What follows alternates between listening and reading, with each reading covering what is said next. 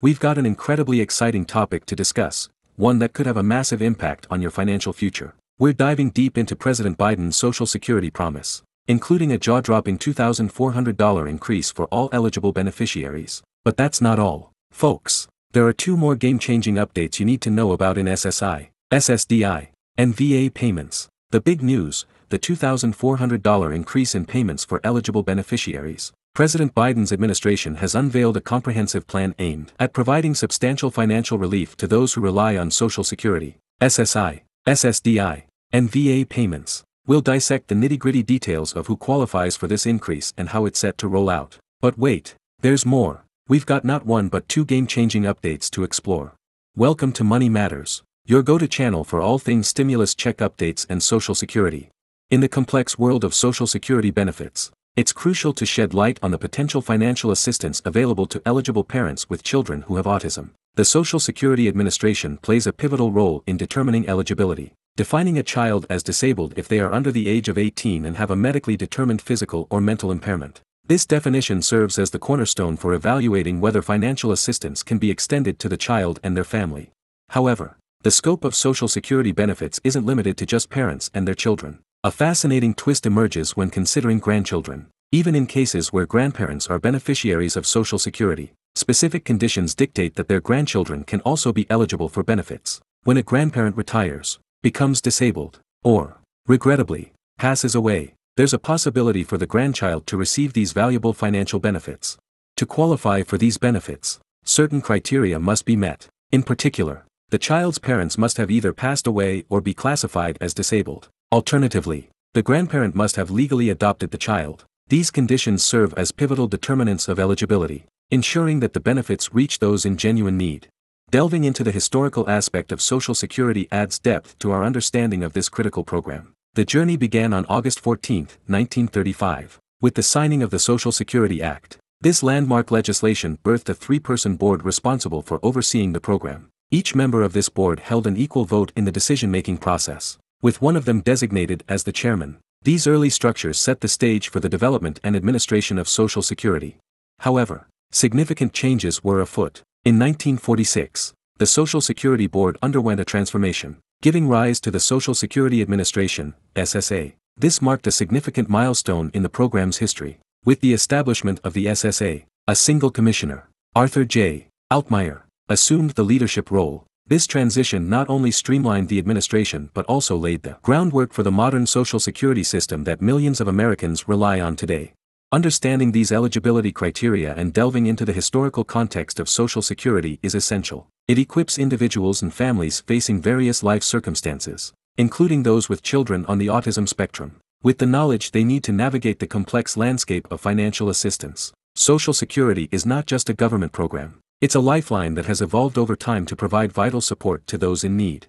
When you're considering remarrying, it's crucial to be aware of how this might affect your SSI payments. SSI is a need-based program that takes into account the income and resources of an individual or, in some cases, a couple. If both you and your new spouse are SSI recipients, your payment rate will shift from the individual rate to a couple's rate. This means that the combined income and resources of the couple will be considered when determining the benefit amount. This calculation involves deducting the couple's combined countable income from the federal benefit rate and then dividing the result equally between the two of you, with payments issued separately. Moving on to SSDI, there are critical factors to be aware of that could lead to a potential loss of benefits. Earning a substantial income is one of them. If your earnings exceed a certain threshold, which is typically set at $1,040 per month, or $1,740 for individuals who are blind, you might risk losing your SSDI benefits. The program is designed to provide support for individuals with disabilities who are unable to engage in substantial gainful activity, so substantial earnings can impact eligibility.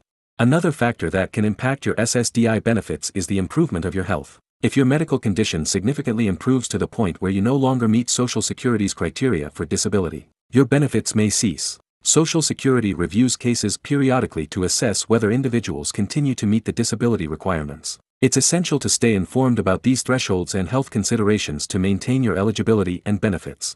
For our brave military service members who have been injured in the line of duty on or after October 1, 2001, there's a provision that may provide relief. SSDI applications for injured service members can be expedited. This means that the processing of your claim will be accelerated. ensuring that you receive the support you need promptly during your recovery and rehabilitation.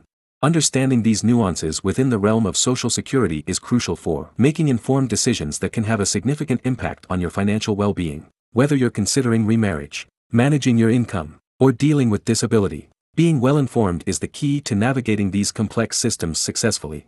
We all know that the SSDI benefits program is a vital safety net for those dealing with disabilities. But sometimes, the urgency of the situation requires faster assistance. Let's explore the circumstances under which you might qualify for expedited benefits.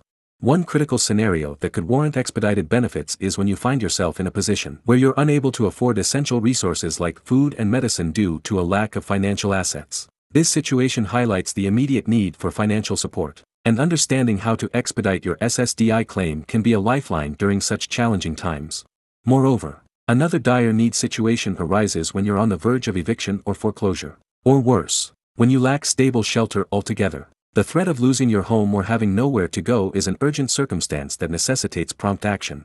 So, how do you go about initiating the process to expedite your SSDI benefits? It starts with writing a well-crafted dire need letter to the Social Security Administration, SSA. In this letter, you'll need to eloquently convey your situation, providing clear and compelling reasons why expedited benefits are absolutely essential for you. The key here is to be thorough, sincere, and to emphasize the urgency of your circumstances.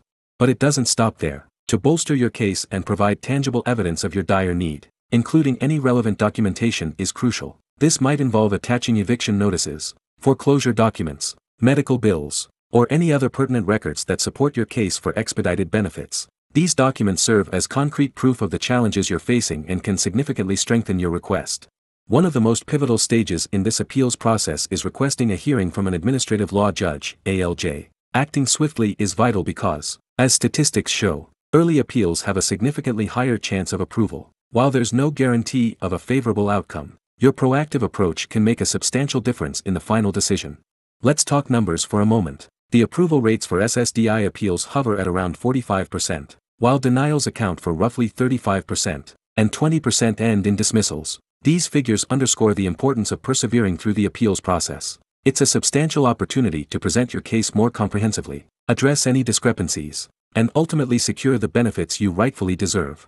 To maximize your chances of winning your SSDI appeal, we strongly recommend seeking the assistance of an experienced attorney who specializes in SSDI cases. These professionals possess an in-depth understanding of the SSDI system's intricacies, which can be complex and challenging to navigate. They know how to construct a compelling case, gather relevant medical and vocational evidence, and represent your interests effectively during the hearing. Having an attorney by your side can significantly increase your chances of a favorable outcome.